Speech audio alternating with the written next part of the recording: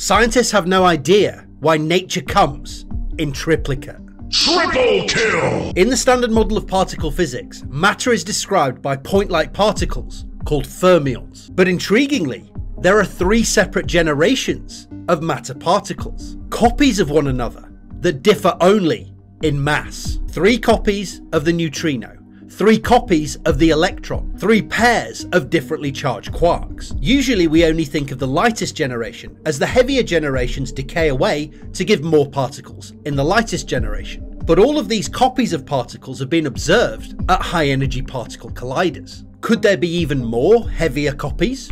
Well, it's possible, but they'd have to be very heavy. All evidence suggests that there are only three light generations. If there were more light neutrinos that we haven't seen, heavier particles like the Z boson would be able to decay into them and would decay away faster than we observe. The rate of helium generation during the Big Bang also constrains the number of light neutrinos to be roughly 3. So it seems that nature comes in threes, and scientists currently have no idea why. But why?